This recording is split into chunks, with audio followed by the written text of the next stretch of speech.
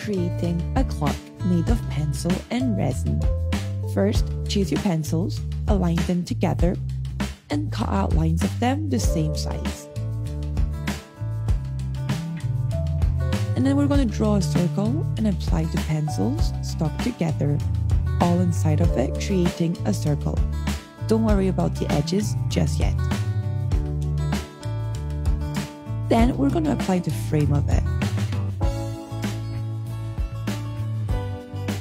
Surround it so you only get the inside. We're applying resin just to stick everything together. And then we're taking the frame off.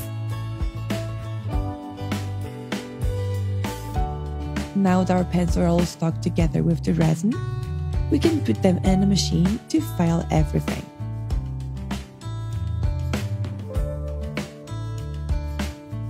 We're going to make a hole in the middle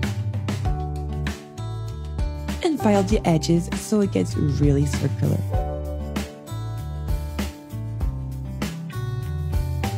Next, we're using this plastic shaper to know exactly where to make holes on the sides. We're going to make them in different colors. We're doing them with blue resin.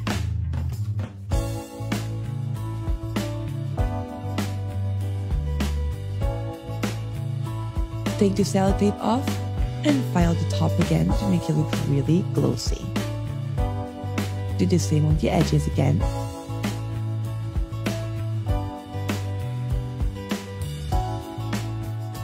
We're going to apply more resin on top of it.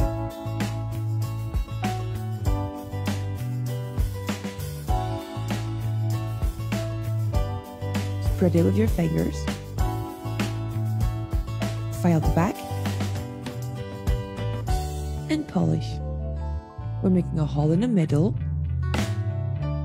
for the engine of our clock.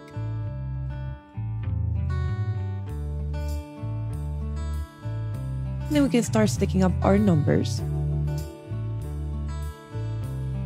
And put everything together with the needles. And there we go.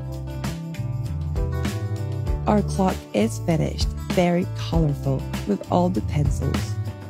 And this one even glows in the dark.